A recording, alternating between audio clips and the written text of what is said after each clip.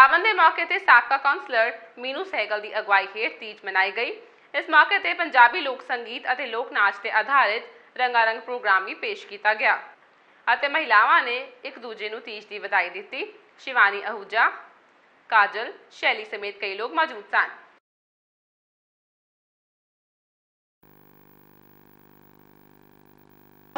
ਅੱਜ ਤੀਜ ਦਾ ਤਿਉਹਾਰ ਬੜੀ ਹਰਸ਼ੋਲਾਸ ਨਾਲ ਮਹਿਲਾਵਾਂ ਨਾਲ ਮਨਾਇਆ ਗਿਆ ਹੈ। ਮੈਂ ਦੇਖ ਰਹੀ ਹਾਂ ਕਿ ਮਹਿਲਾਵਾਂ 'ਚ ਇੰਨਾ ਕੁ ਜ਼ਿਆਦਾ ਓਵਰ ਐਕਸਾਈਟਮੈਂਟ ਹੈ ਕਿ ਤੀਜ ਦੇ ਤਿਉਹਾਰ ਨੂੰ ਮਨਾਉਣ ਨੂੰ ਲੈ ਕੇ। ਮਤਲਬ ਤੀਜ ਦਾ ਤਿਉਹਾਰ ਇੱਕ ਸੁਹਾਗਣਾ ਭਾਗਣਾ ਦਾ ਤਿਉਹਾਰ ਹੈ, ਜਿਹਦੇ ਵਿੱਚ ਪੁਰਾਣੇ ਸਾਡੀਆਂ ਬਜ਼ੁਰਗ, ਸਾਡੇ ਐਂਸੈਸਟਰ ਸੀਗੇ, ਉਹ ਪਿੰਡਾਂ 'ਚ ਝੂਲੇ ਪਾ ਕੇ ਮਨਾਉਂਦੇ ਹੁੰਦੇ ਸੀ।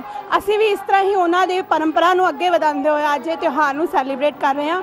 ਮੇਰੀ ਹਰ ਮਹਿਲਾ ਨੂੰ ਸੁਹਾਗਨ ਪਾਗਨ ਰਹਿਣ ਦੀ ਭਗਵਾਨ ਦੇ ਅੱਗੇ ਪ੍ਰਾਰਥਨਾ ਕਰਦੀ ਹਾਂ ਕਿ ਉਹ ਇਸ ਤਰ੍ਹਾਂ ਹੀ ਹਮੇਸ਼ਾ ਆਣ ਔਰ ਸਾਡੇ ਪ੍ਰੋਗਰਾਮਾਂ ਦੇ ਵਿੱਚ ਇਸ ਤਰ੍ਹਾਂ ਹੀ ਤੀਜ ਮਨਾਉਣ, ਸਾਵਨ ਦੇ ਚੁੱਲ੍ਹੇ ਫੁੱਲਾਂ ਦੇ ਗਹਿਣੇ ਪਾ ਕੇ, ਗਿੱਧਾ ਪਾ ਕੇ, ਆਪਣਾ ਤਿਉਹਾਰ ਮਨਾ ਸਾਡੀ ਉਮੀਦ ਤੋਂ ਵੱਧ ਜਨਾਨੀਆਂ ਇੱਥੇ ਇਕੱਠੀਆਂ ਹੋਈਆਂ ਨੇ ਇਸ ਤਿਉਹਾਰ ਨੂੰ ਮਨਾਉਣ ਵਾਸਤੇ ਤੇ ਉਹ ਕਿੰਨੀਆਂ ਖੁਸ਼ ਨੇ, ਨੱਚਦੀਆਂ, ਗਾਉਂਦੀਆਂ, ਹੱਸਦੀਆਂ, ਖੇਡਦੀਆਂ, ਮੋਰਨੀਆਂ ਵਾਂਗੂ ਪਹਿਲਾਂ ਪਾਉਂਦੀਆਂ ਪਈਆਂ ਹੈ ਤੇ ਮੈਂ ਸਾਰੀਆਂ ਲੇਡੀਜ਼ ਨੂੰ ਇਹੋ ਹੀ ਕਹਿਣਾ ਚਾਹਾਂਗੀ ਹੈਪੀ ਤੀਜ ਸਾਡੇ ਪੁਰਾਣੇ ਪੰਜਾਬ ਦੇ ਵਿੱਚ ਨੂੰਹਾਂ ਧੀਆਂ ਜਿਹੜੀਆਂ ਕਿ ਵਿਆਹੀਆਂ ਜਾਂਦੀਆਂ ਸੀ ਤੇ ਆਪਣੇ ਸਹੁਰਿਆਂ ਘਰੋਂ ਤੋਂ ਪੇਕੇ ਆਉਂਦੀਆਂ ਸੀ, ਪੇਕੇ ਆ ਕੇ ਪੀਂਘਾਂ ਝੂਟਣੀਆਂ।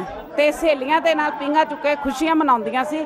ਉਹ ਤਿਉਹਾਰ ਅਸੀਂ ਅੱਜ ਵੀ ਮਨਾ ਰਹੇ ਹਾਂ। ਇਹ ਸਾਰਾ ਮੀਨੂ ਸਾਈਕਲ ਦੇ ਨੇ ਸੈਲੀਬ੍ਰੇਟ ਸਾਡੇ ਵਾਸਤੇ ਕੀਤਾ ਹੈ। ਤੇ ਅਸੀਂ ਉਹਦੇ ਬੜੇ ਥੈਂਕਫੁਲ